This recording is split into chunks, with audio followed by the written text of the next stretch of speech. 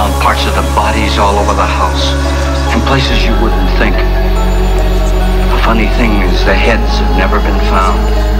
Hands and feet and things like that. But no head.